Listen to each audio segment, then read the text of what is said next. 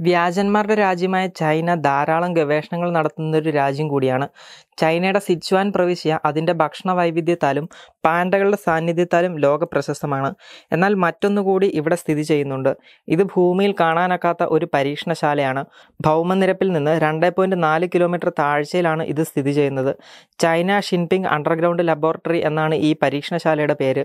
ലോകത്ത് ഏറ്റവും ആഴത്തിൽ സ്ഥിതി ചെയ്യുന്ന പരീക്ഷണശാലയെന്ന് ഇത് അറിയപ്പെടുന്നു നേരത്തെ ഈ റെക്കോർഡ് കാനഡയിലെ ഒന്റാരിയോയിൽ സ്ഥിതി ചെയ്യുന്ന സ്നോ ലാബിനായിരുന്നു തമോദ്രവ്യം അഥവാ ഡാർക്ക് മാറ്റർ ലോകത്തിലെ ഏറ്റവും വലിയ ഭൂഗർഭ പരീക്ഷണശാല എന്ന ബഹുമതിയും സിച്വാനിലെ ഈ ലാബിനാണ്.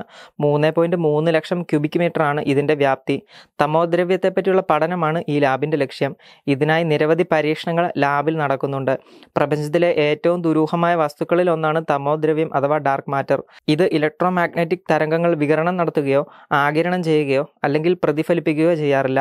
എന്നാൽ വസ്തുക്കൾക്ക് ചുറ്റും ഗുരുത്വപരമായ സ്വാധീനം ചെലുത്തുന്നതിനാൽ ഇതുണ്ടെന്ന് അറിയാം ഈ വിചിത്ര ദ്രവ്യത്തെ പറ്റിയും തമോർജത്തെയും പറ്റി പഠിക്കുക ഭൗതിക ശാസ്ത്രജ്ഞരുടെ വലിയ വെല്ലുവിളികളിൽ ഒന്നാണ് ഭൂഗർഭ പരീക്ഷണശാലകളുടെ രഹസ്യം പ്രപഞ്ചത്തിന്റെ ഒന്ന് മുതൽ പത്ത് വരെ ശതമാനം മാത്രമാണ് നമുക്ക് ഇന്ദ്രിയഗോചരമായ സാധാരണ ദ്രവ്യം. ബാക്കി തമോദ്രവ്യവും തമോർജവുമാണെന്ന് ശാസ്ത്രജ്ഞർ പറയുന്നു.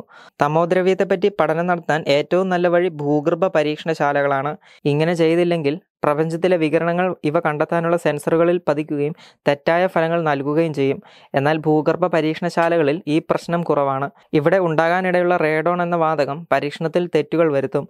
ഇത് സംഭവിക്കാതിരിക്കാൻ ചൈനീസ് ലബോറട്ടറിയിൽ പ്രത്യേക വസ്തുക്കൾ ഉപയോഗിച്ച് കോട്ടിംഗ് നടത്തിയിട്ടുണ്ട്.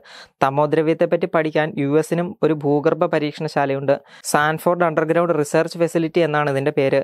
ഇതുവരെ തമോദ്രവ്യത്തെപ്പറ്റി നേരിട്ട് കണ്ടെത്താനോ അതിന്റെ സവിശേഷതകൾ വിലയിരുത്താനോ ശാസ്ത്രജ്ഞർക്ക് കഴിഞ്ഞിട്ടില്ല. ഇത് സംഭവിച്ചാൽ പ്രപഞ്ച രഹസ്യങ്ങളിലേക്കുള്ള ഒരു വലിയ ജാലകമാകും തുറക്കുക.